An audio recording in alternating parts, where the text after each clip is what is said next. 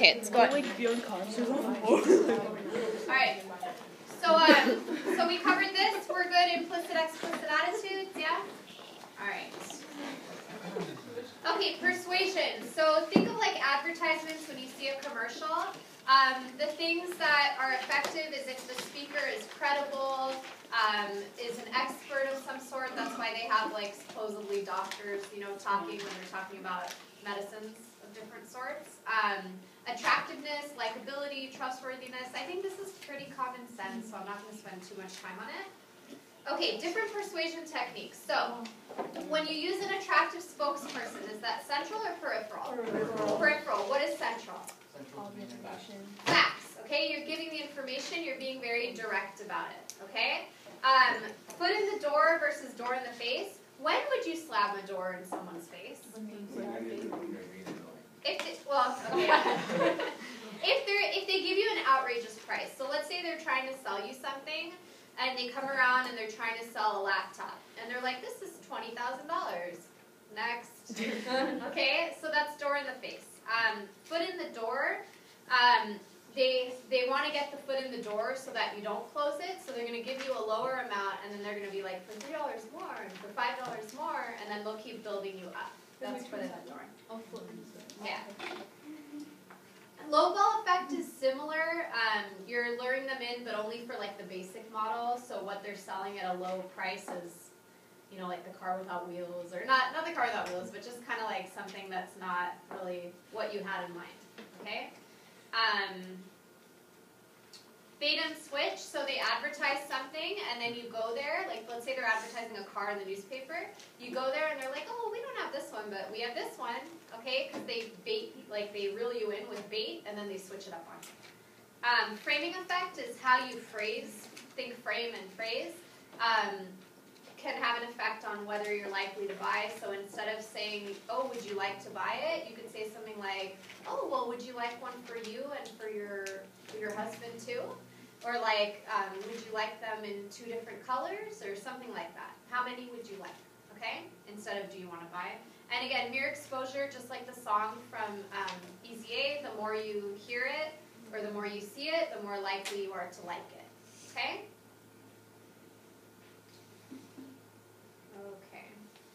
Who is the source? Think of a commercial. Who's the source? The product person. The person advertise, the person talking to you. Okay. Um, who is the? What is the message? What they're selling. What exactly they're saying. Okay. And then um, the channel is like how they're like. Is it through TV, in person, on the radio? Uh, and then the receiver is who? You guys, right? The audience, yeah. Okay, now you guys really know classical Oh, yeah. conditioning, right? Um, so this was sort of a brief intro as it pertains to advertising. Now you guys know it really well. So Pepsi and Sofia Vergara, what's the unconditioned stimulus? Sofia Vergara, you don't have to learn to be excited when you see her, right? What's the conditioned stimulus? Pepsi. And what's both the unconditioned and the conditioned response? Happiness. Happiness. Okay, so the goal of this is if you only see the conditioned stimulus, which is what again? The Pepsi. The Pepsi, what are you going to do? Get happy. Get happy and buy it. okay? Okay. And you guys really know operant now, and you really know observational now. Okay, we're not going to go over this because you guys are pros, hopefully. Um,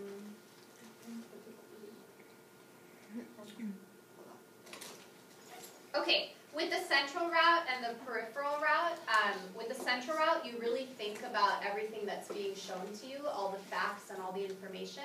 So it your likelihood to buy the product, like it's kind of gonna last longer, like you're because you're you're thinking about it more. Whereas the peripheral, you're just kind of in a daze watching like you know, good-looking people or whatever. So like five years down the line, you might forget about it if you're shown the central route, it's really going to stick with you because you're thinking. The more you really think about something, the more it's going to stick with you.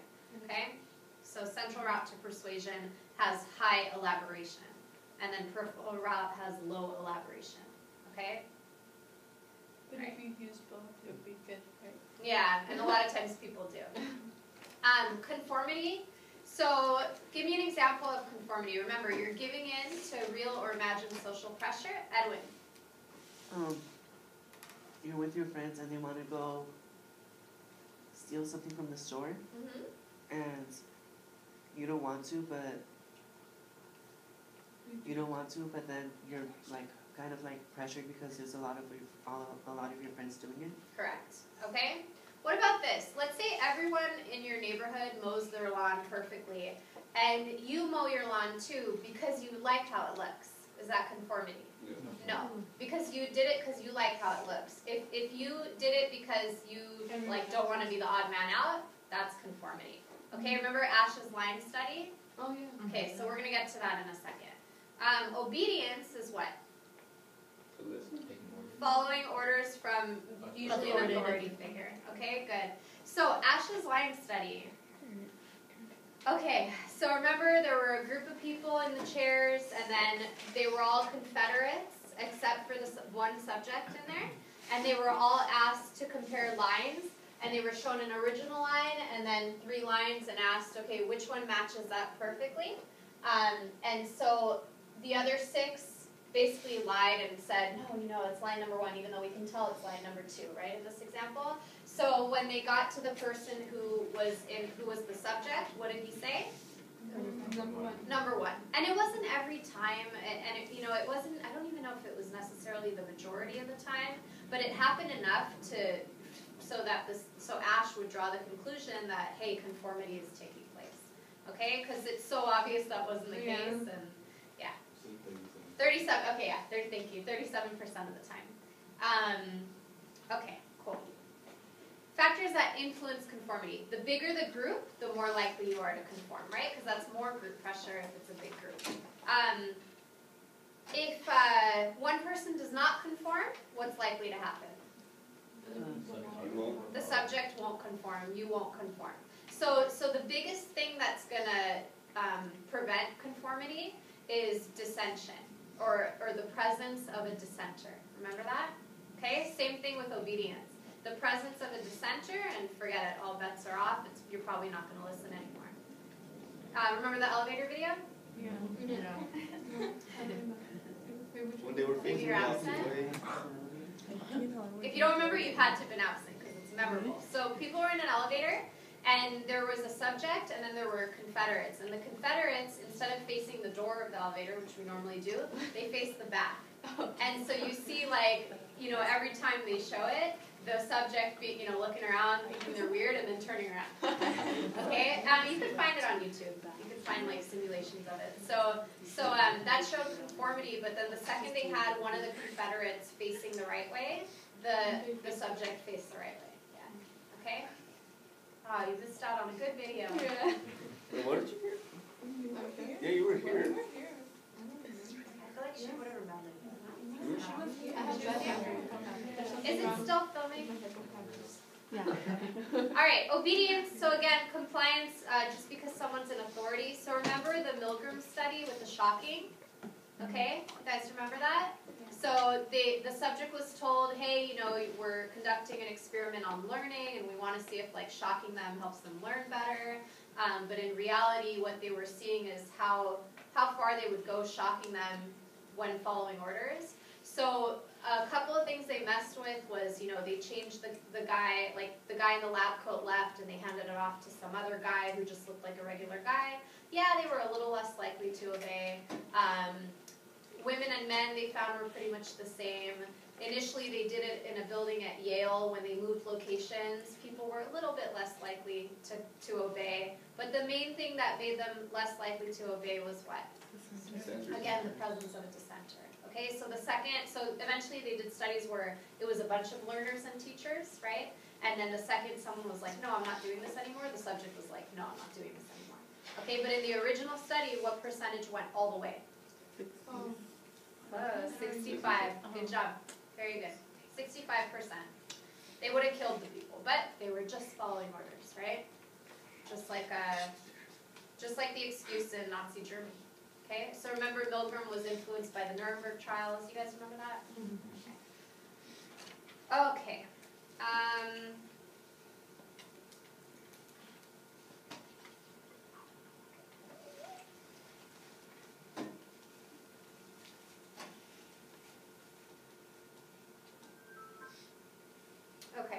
Um, Zimbardo. So this now you've seen Zimbardo a hundred times too. So the Stanford Prison Study. Remember, they took a bunch of normal guys. They tested them. They were mentally okay. Um, they put them in jobs. Half of them were guards. Half of them were prisoners. What happened? They were acting like, the guards were acting like guards and the prisoners were acting like. Yeah, they were playing the roles. The guards were very abusive, right? The the prisoners became very kind of depressed. A lot of several of them had to leave the experiment because they underwent a lot of psychological trauma. Um, so what does that show? Social roles, the influence of social roles. We act in a way that um, we we kind of expect someone in that role to act. Okay, and it kind of goes with remember the Jane Elliott brown-eyed, blue-eyed ex- experiment kind of goes along with that. All right. So the people who were the brown eyes, you know, the ones if when the day that the brown eyed people were the smart ones, how did they act? Better. Like better than the other people. They even performed better on tests, right?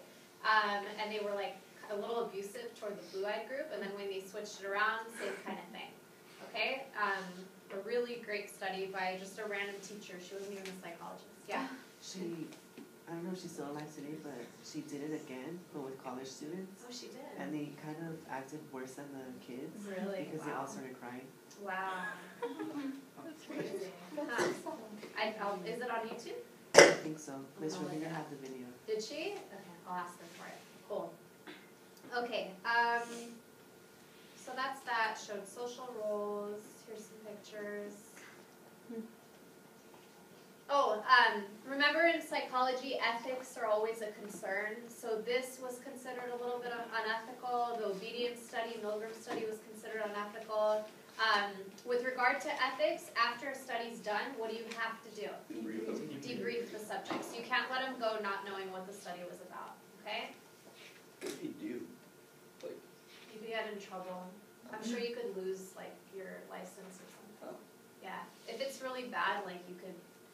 Does it discredit the study? Um, it might. Like it might not appear in a psych journal anymore, but that doesn't mean people aren't gonna Follow it? follow it. Yeah, especially nowadays, like where you can follow anything. So. Okay. Okay, group psychology. So, diffusion of responsibility. So, let's say you're given a group project. Does this sound familiar? Right? Although you guys are the students who probably always do all the work, just like I was when I was your age.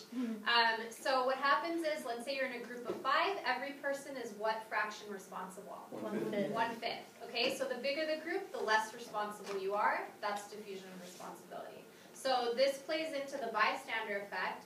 Um, remember I told you how we saw someone beating someone up, you know, along the side of the road, and my husband was like, "Oh, there's a lot of cars. They'll call." And I'm like, "Nope, the bystander effect." so, uh, so exactly, the more people there are, the less Less likely. less likely they are to help. Okay, um, so totally wrong in thinking, oh, there are a lot of people, you know. So um, bystander effect. So alone helps 75% of the time, and the presence of others helps 53%. Remember the guy passed out on the college campus, Yeah. and everyone was just walking by. Social loafing, this all relates. So when you're in a group, you kind of think of the loafers and kicking your feet up on the desk. Uh, you get a little lazy. So when you're in a group, you're likely to put less effort. Okay? So that's why when people are in a group, output goes down, coordination goes down, effort goes down, basically productivity totally goes down. This is like if you were actually like let's say you're given a group project and there are four people and you assume that each person does like the amount of work they would have done alone, productivity should be up here, but because of all this stuff it ends up dropping. Okay?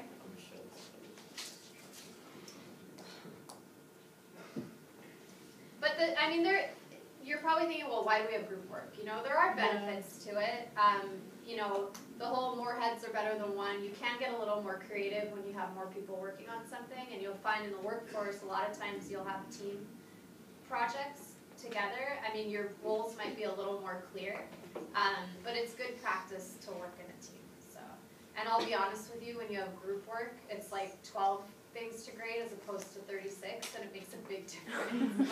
so that could be part of it too. All right.